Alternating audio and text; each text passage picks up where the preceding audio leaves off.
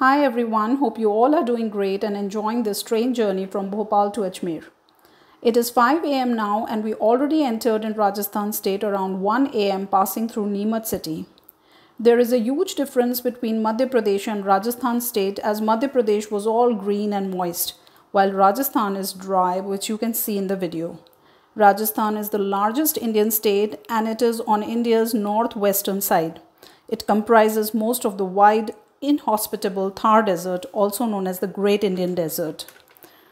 Ajmer is surrounded by the Aravalli Mountains, which you can see in the video from a distance. I will reach Ajmer at around 6.30 am, which is um, almost an hour from now. Ajmer is one of the major oldest cities in Rajasthan and it is located in the center of Rajasthan. So Ajmer is also called the heart of Rajasthan.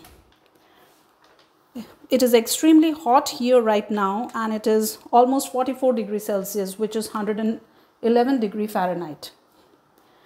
I had my dinner and tried to sleep more but I could not as I am jet lagged so I was awake the entire night.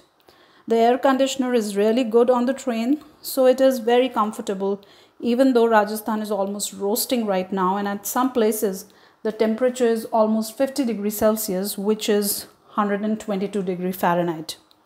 We are passing through a small city or a town rather and the, and the train won't stop here.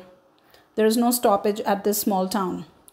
Though the journey seemed to be very safe and comfortable, but we have to be very careful with our belongings on the trains in India as the passenger next to my berth realized in the morning that her bag with valuables was missing as someone picked it while she was sleeping.